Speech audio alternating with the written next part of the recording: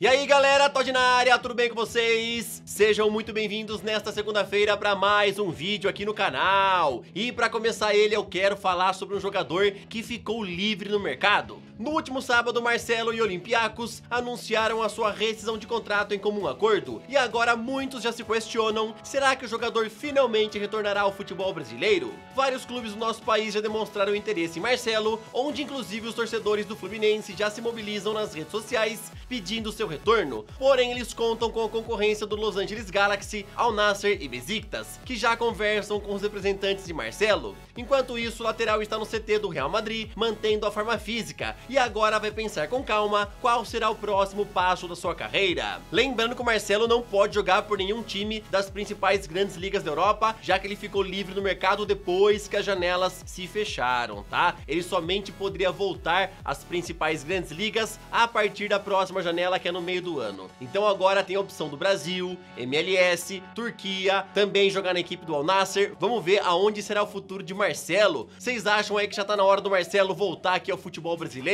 E se ele voltar, qual clube que você acha que tem a cara do Marcelo, que tá precisando de um jogador como ele? Aliás, vários times estão precisando de um jogador como o Marcelo, né, que é polivalente, pode jogar na lateral esquerda, pode jogar no meio campo também. Mas o que eu quero saber, qual clube que você acha que tem a cara do Marcelo, beleza? Comenta aí. Vamos ver se ele vai decidir vir para cá ou se vai lá para MLS, Arábia ou então Turquia. Qualquer novidade eu vou te informando, tá? Nesse vídeo eu ainda vou te contar muito mais coisa interessante. Só que antes eu tenho que te falar que ele é patrocinado pelo aplicativo OneFootball. Logo quando você baixa o aplicativo, que é totalmente gratuito, você escolhe seu time do coração e também os campeonatos que você quer acompanhar e podem ser vários campeonatos, tá? Bundesliga, Brasileirão, La Liga, Série A, você escolhe o campeonato que você quer acompanhar e você vai sempre receber notícias em tempo real. Lá você também consegue ver as últimas transferências e vídeos bem interessantes, além de também conseguir assistir a Bundesliga totalmente de forma gratuita, tá? Faça o download do aplicativo pelo primeiro link da descrição e também tá aparecendo o QR Code aí na tela. E agora, sem mais enrolações, solta a intro!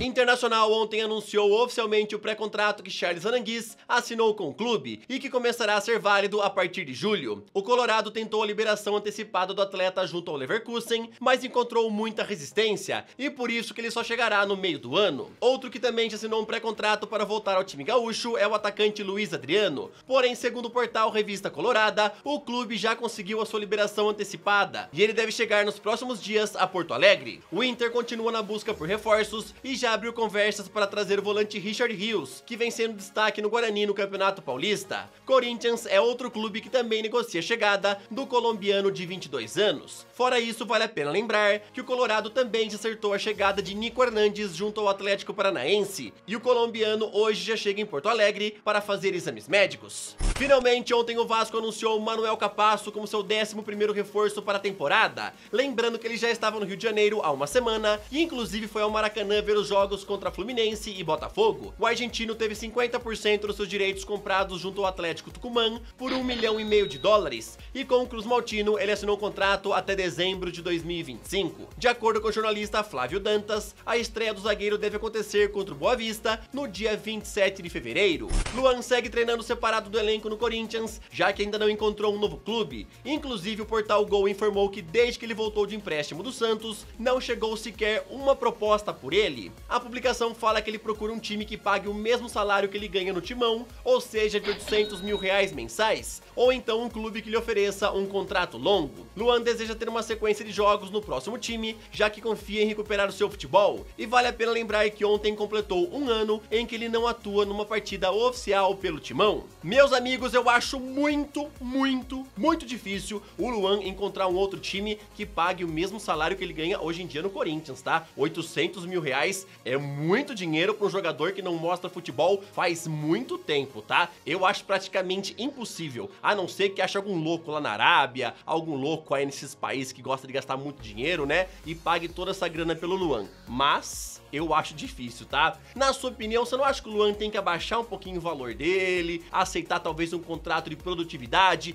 pra ir, caso ele recupere seu futebol, ganhe um contrato melhor, um salário melhor e por aí vai, né? Faz muito tempo que a gente não vê o Luan jogando bem e bota muito tempo nisso, hein? Então eu acho que um bom caminho seria esse, aceitar um contrato de produtividade, um contrato não longo, né? Porque eu acho difícil também um time oferecer um contrato de 5, 4 anos pra ele, tá? Então acho que o Luan tem que aceitar um pouquinho, reduzir as suas expectativas pra aí poder mostrar o seu futebol, caso realmente, né, ele volte a mostrar aquele futebol da época do Grêmio e aí volte a ganhar a grana que ele quer ganhar, né? Na tua opinião, você queria ver o Luan chegando no seu time? Digamos que por um contrato de produtividade, tá? Quero saber a sua opinião, fala aí! E também já aproveita para deixar aquele like no vídeo, se inscreve no canal e ativa o sininho. Aqui você vai sempre ficar por dentro das últimas notícias do futebol e eu tenho que te lembrar que todos os dias tem vídeo, tá? Vou deixar na descrição o link das minhas redes sociais, lá sempre rola muita coisa, notícias, transferências, quiz e muito mais.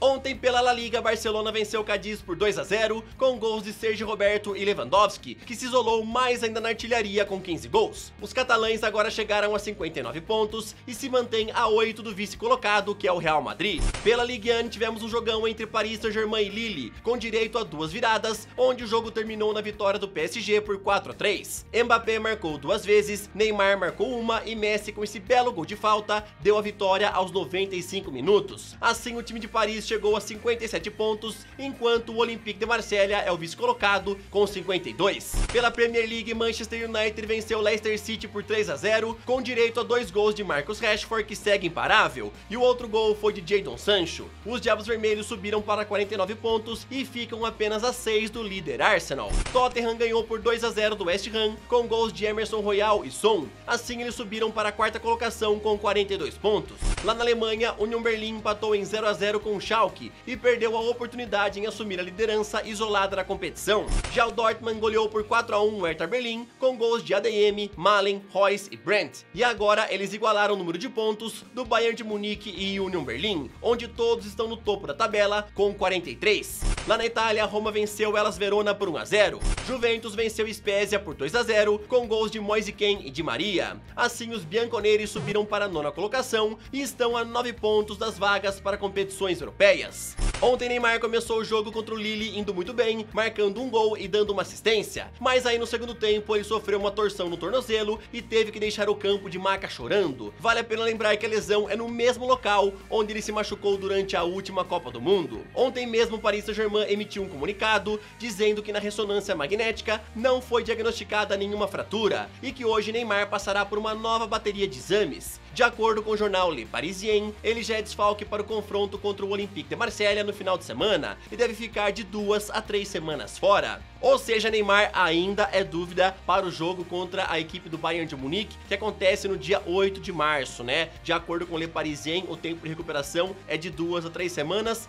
então por isso que ainda tem essa dúvida. Será que Neymar vai estar 100% para poder ajudar o PSG nesse jogo de volta das oitavas? Vamos ver qual será o comunicado do Paris Saint-Germain após essa nova bateria de exames, né? Mas, cara, o Neymar é muito azarado, né? Praticamente toda temporada ele tem uma lesão, sai do campo aí de maca chorando, a galera realmente bate muito nele no campo, né? Se você assiste os jogos do Paris Saint-Germain, você vê que realmente ele é caçado dentro do gramado, né? E infelizmente ontem ele acabou torcendo aí o tornozelo e mais uma vez está lesionado. Vamos ver se ele vai poder ajudar o Paris Saint-Germain contra o Bayern de Munique e qualquer novidade eu te informo nos próximos vídeos. Antônio Conte já decidiu que na próxima janela quer fortalecer a zaga do Tottenham e o grande alvo do técnico é Antônio Rudiger. O portal Ficharres informou que o jogador não se adaptou muito bem à Espanha e os Spurs querem se aproveitar disso para convencê-lo a voltar para a Inglaterra. Inclusive, vale a pena lembrar que foi Antônio Conte que trouxe Rudiger ao Chelsea em 2017 e agora ele espera mais uma vez trazê-lo para trabalharem juntos. Então, tudo indica que o Tottenham deve apresentar uma oferta na próxima janela por Rudiger e caso o alemão vá embora, o Real Madrid já tem um alvo para repor a posição e ele seria Josko Gavardiol, lá do Leipzig.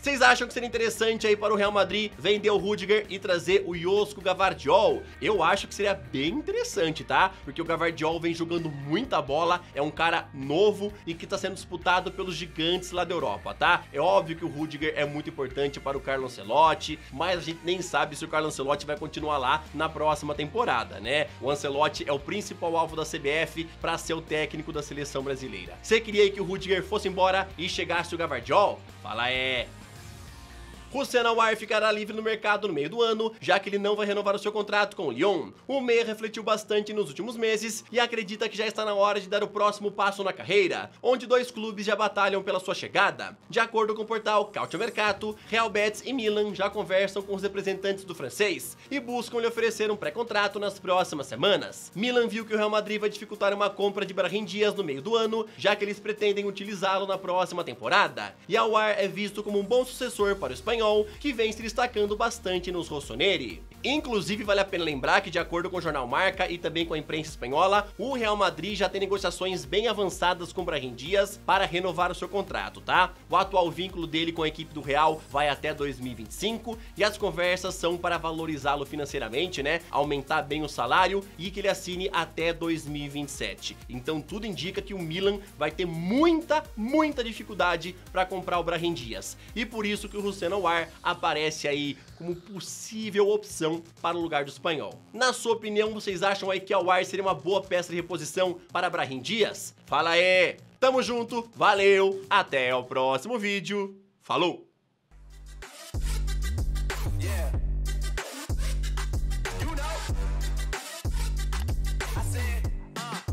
Uh, it's gonna be a long night.